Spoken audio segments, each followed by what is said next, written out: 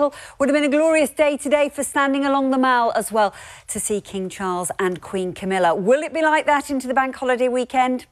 It's looking a bit unpredictable. More details on that in just a moment. For the here and now, though, you can see how widespread the sunshine has been today. Just some thicker cloud in Scotland. This is a weak weather front. It's been producing some light, patchy rain, and it's going to continue to drift its way steadily north through the night tonight. We see quite a lot of cloud developing overnight tonight and a brisker breeze, and so that's going to prevent those temperatures from falling quite as far as the night just passed. So temperatures perhaps first thing tomorrow morning around 5 to 10 degrees. Now, tomorrow, we can split the country into three. A northeasterly wind bringing more cloud across northeast England and eastern Scotland, western Scotland, Northern Ireland, parts of England, down into East Anglia in the southeast, dry and sunny. More cloud and rain pushing into the southwest later on. So we've got the best of the sunshine.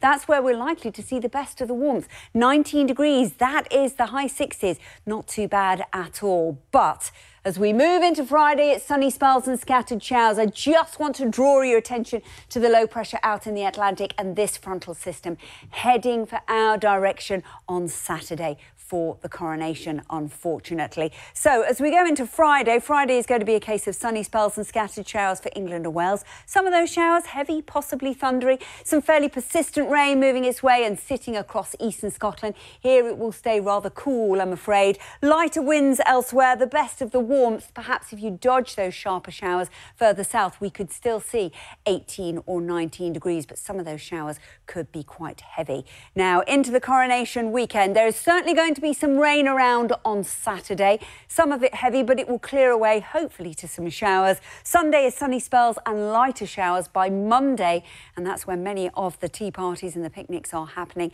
Some of those showers could be heavy. I'm afraid it might not be the forecast you want, but we're great at making the most of it. Sophie.